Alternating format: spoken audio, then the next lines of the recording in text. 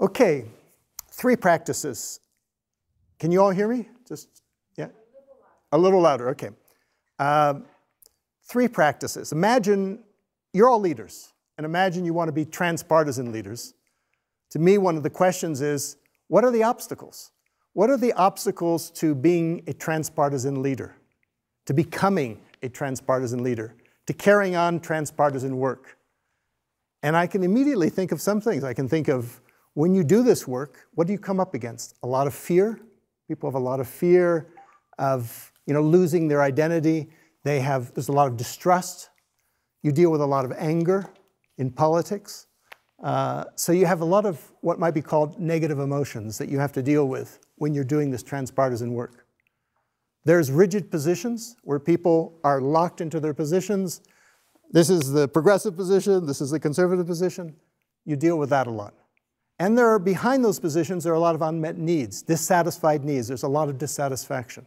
So the question is, what are some practices that can break through those obstacles? They can deal with those obstacles.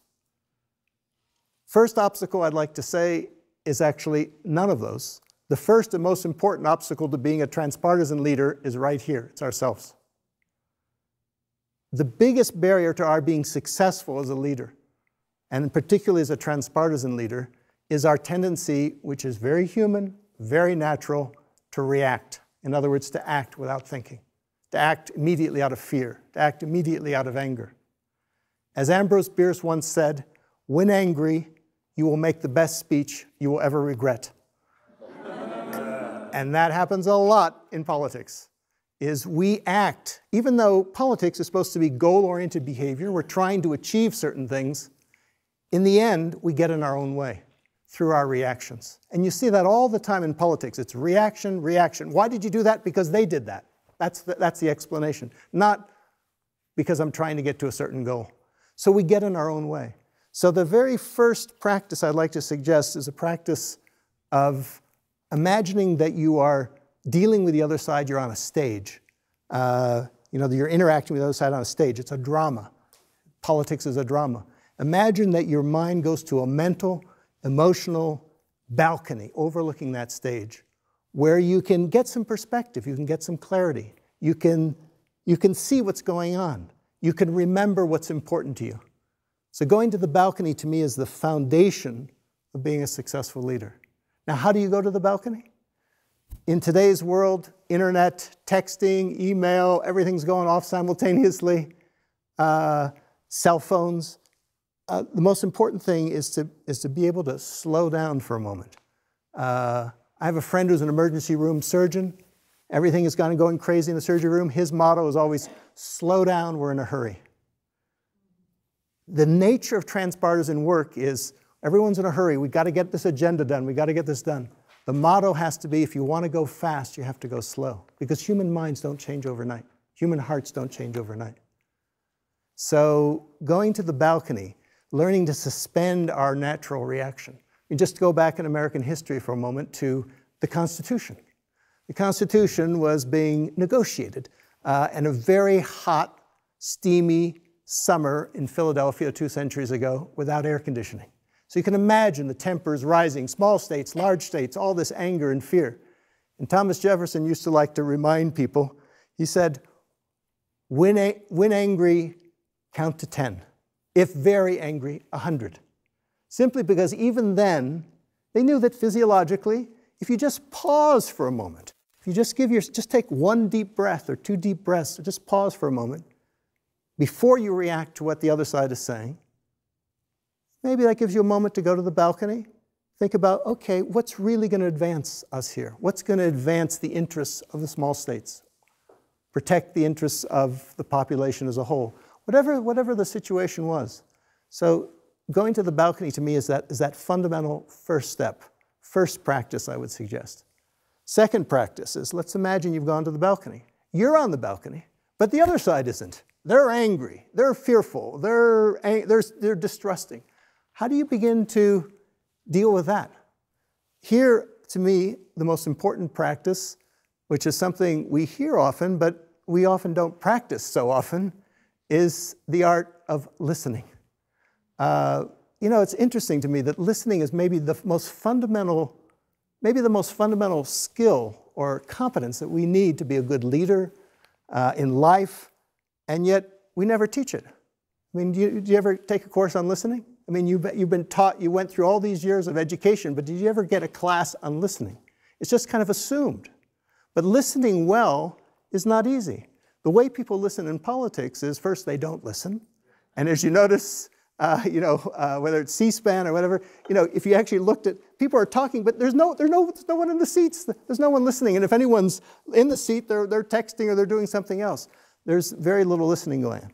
Then if there is listening, as maybe in a debate or something, what they're listening is the kind of listening is listening to, in order to immediately refute or contradict what the other side is saying. That's a kind of listening, but it's not the kind of listening I'm talking about. I'm talking about a listening which is the kind of listening that we need if we're really aiming to influence people, to change hearts and minds. I mean, how can we change hearts and minds if we don't know where those hearts and minds are? So, true listening is about the act of empathy. It's the act, empathy is different than sympathy. Sympathy is feeling with, empathy is, is feeling into. M means into. In other words, it's listening from within the frame of reference of the other side. We, all, we always listen from within our frame of reference. And so there's part of our critic, a little inner critic, inner judge saying, that's wrong, that's right, I disagree with that, I agree with that, I disagree with that. What I'm talking about is a kind of listening where you actually put yourself in the shoes of the other. Imagine you're in their shoes for a moment. Imagine you're feeling what they're feeling and trying to listen from within their frame of reference. That is good for two reasons. One, if you're trying to influence them, let's imagine, you know, they're, they're an enemy. You know, the first rule in warfare is know your enemy. How are you going to know that? So even there you want to do that. But there's a much more important reason, which goes back to the word respect.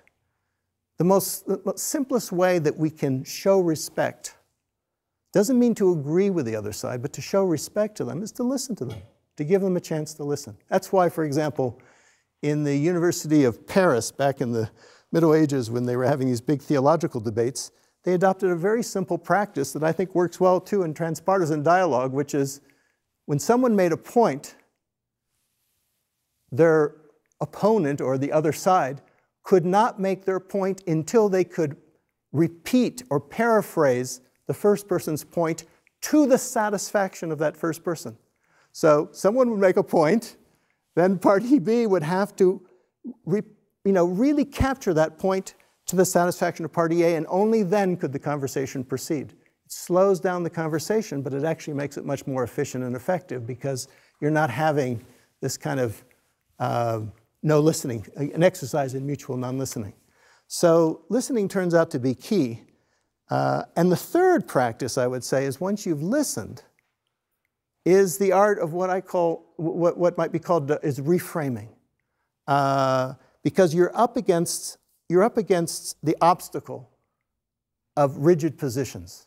And that's what you see in politics all the time, is people are digging into their positions. It's almost like they're in a giant kind of World War I kind of fight where everyone's digging in, trenches, fortifications, I'm not moving, I'm not budging, a lot of stonewalling going on. How do you deal with rigid positions? Our natural tendency when the other side takes a rigid position is we reject it. But when you reject their position, what do they usually do? They dig in further, right? So you just, you know, you're just playing their game. You're just playing the game of positions. The question is, how do you change the game? In other words, it's almost like there's a spotlight in any interaction there. The spotlight can either be on positions, and where you'd like to be, the spotlight to be, to change that, move that spotlight is over here on what are people's needs and interests and concerns? What are they worried about? Why are they taking that position? And what are some creative possibilities that might address their needs as well as address yours? So, how do you move that spotlight? In other words, the greatest power that we have is the power to change the game, to move that spotlight. How do you change the game? You change the frame, you reframe. And one of the most powerful ways of reframing is to ask good questions. Usually in politics, the questions are very much either or kind of questions, closed questions. Are you in favor of this or not? you know, the kind of polling kind of questions, or, you know, you, you, get, you get a choice, it's just binary. But the best kinds of questions, as you know, as students and educators and so on, the best kind of questions are tend to be open-ended questions. Like, how do you, how would you solve this problem of education? How would you deal with energy efficiency? It's not, are you in favor of this or not? But those questions lead to a conversation. So if someone takes a rigid position, for example, one question to ask is, help me understand what's behind that. We had a, a transpartisan dialogue some years ago where we had uh, Al Gore on one side and head of the Sierra Club, and then we had a lot of people who don't believe in what Al Gore is saying about climate change and so on on the other side. And what was interesting to me was both sides thought, you know, they just heard the other side's position, but they didn't understand what, what was really behind it. And the thing that, that impressed me in listening to those conversations, when we dug under those positions, for example, the people who were skeptical and outright critical uh, of what Al Gore was saying about climate change and so on, one of their deep concerns was that they saw climate change, they saw all the environmental concern about environment as simply a smokescreen for bringing back big government which would deprive them of fundamental liberties. They didn't understand, that, that, that's how they saw it. And so, but once you can listen and you move that spotlight from positions, which is, you know, I think we ought to do this, we ought to have a carbon tax, I'm against that, to what's the real underlying concern, then you can start to deal with those underlying fears about big government. Are there ways, for example, of dealing with energy and climate that don't necessarily arouse fears uh, that there's going to be some kind of big government takeover? Can we do that? But only when you can reframe, move the spotlight from positions to interests. And so that led into a conversation about, for example, energy efficiency, which is energy efficiency of something that, yeah, we can all agree upon. And so the question was, how could we move together and work together on energy efficiency? So that's the whole idea, is you keep on moving that spotlight from positions to interests. How? By reframing, by asking good questions. So those are the three tools I would suggest uh, as possible ways of overcoming these obstacles. You overcome the obstacle of your own natural reaction by going to the balcony. You overcome the obstacle of fear and distrust by listening to the other side, truly listening from within their frame of reference. And you overcome the obstacle of rigid positions by reframing, asking good problem solving questions.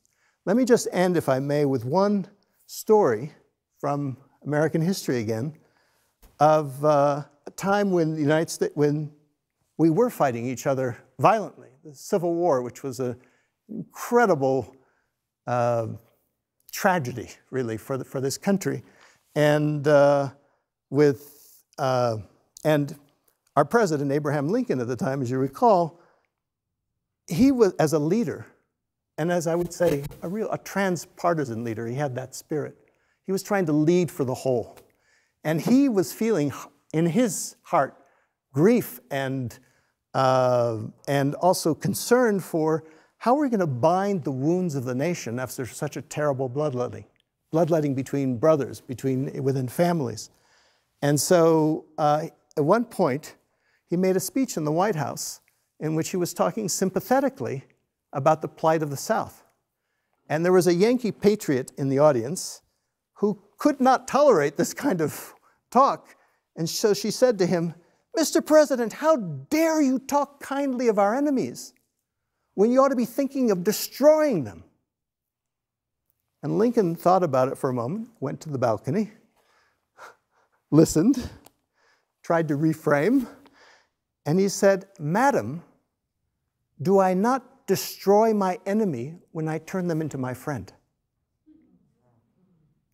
And I think that's the real task, underlying task of, uh, of transpartisan leadership, which is how do we destroy our enemies by turning them into our friends? It doesn't mean that we agree with them. We may often disagree with them on many things, but we can still treat them with basic human respect, basic human connection, recognizing that we're all part of the same whole. Thank you very much.